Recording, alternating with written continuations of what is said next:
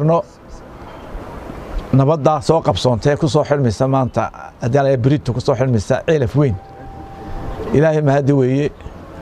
Waanu hambalyanaynaa dadkii ka shaqeeyey. Ee suurtogeliyey ilaahay ka soko inay inaga dhammaato. Arrintaasoo boog xun inagu ahayd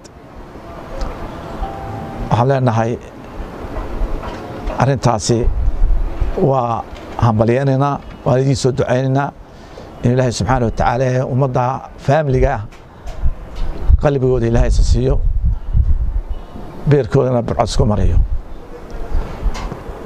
waxaad mooddaa waxaynu iska nahay doqon nasiib badanoo inaynu hadda ilaahay subxaana watacaala xaggii magaranaysaayey wanaagga arrimay noogu socdaan.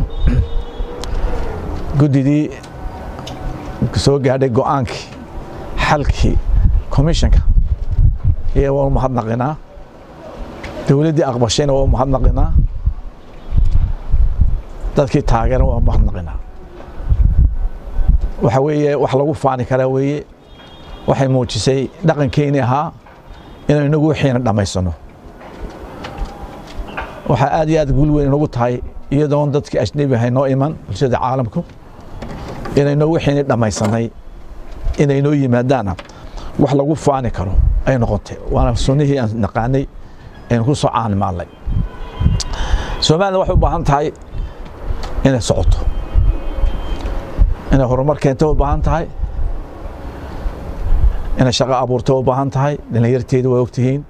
Niyad jab weyn baa ku dhacay.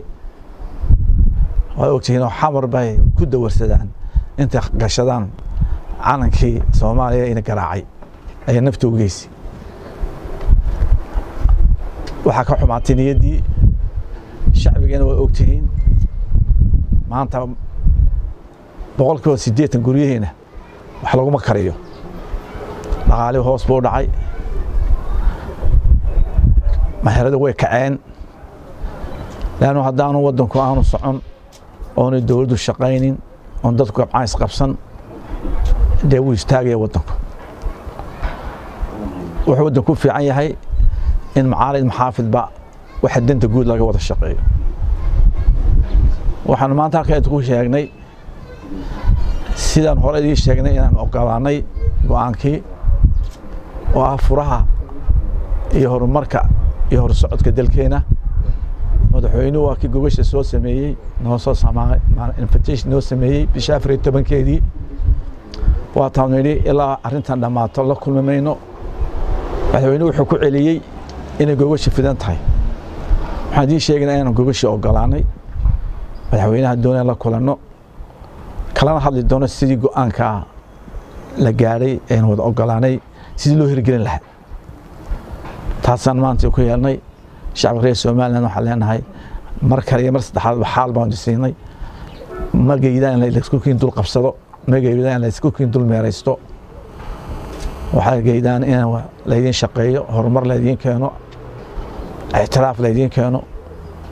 Marka waxaan jecelahay insha allahu tacaala waxaan diyaar u nahay inaanu dowladda wixii national issuesa common groundka inaga dhexeeyo difaaca dalka magaalanaysa ictiraaf doonista iyo horumarkaba kala shaqeynaan diyaar u nahay. Waanu la kulmay madaxweynaha. Asalaamu calaykum waraxmat ullahi wabarakaatu